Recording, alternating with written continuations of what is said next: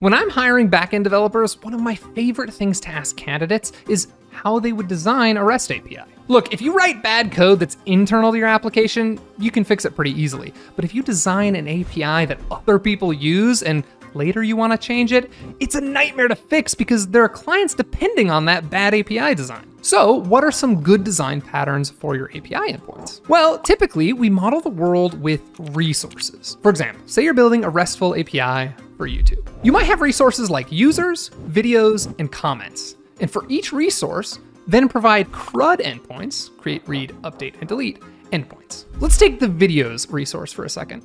For a get all videos endpoint, we might use the get HTTP method and the slash videos path. But what if we want the client to be able to get a single video by ID? Again, we'd use a GET request probably, but this time we append a dynamic ID to the end of the path.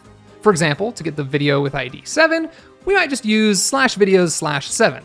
And to get the video with ID 69, we'd use slash videos slash 69. One mistake that I've seen here is dropping the S from videos when creating the endpoint for a single video. For example, using slash video slash 420 instead of slash videos slash 420.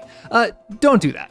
It's so much easier to just keep the resource name consistent and always use the plural version. Now, say we want to create a new video.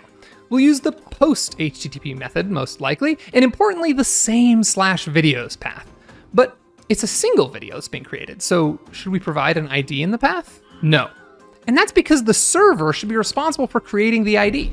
As the client, we just send the video data and expect the server to send back the new ID in its response. And to update a resource, of course, we usually use the put HTTP method, but this time we include an ID because the server needs to know which resource we're gonna update with the data that we sent it. And finally, for the delete endpoint, it's important to understand that it's rare to delete batches of a resource at the same time. So delete slash videos often doesn't make sense, of course, with some exceptions. But a delete endpoint is almost always going to end with a dynamic ID so that you can delete one specific video. And then of course, one last thing, these naming conventions that I'm telling you about, they, they really only apply to the end of the URL path.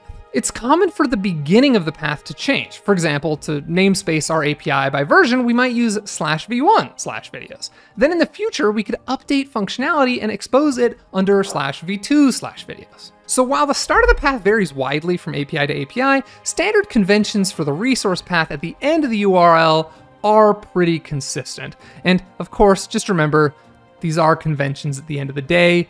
You can do whatever you want.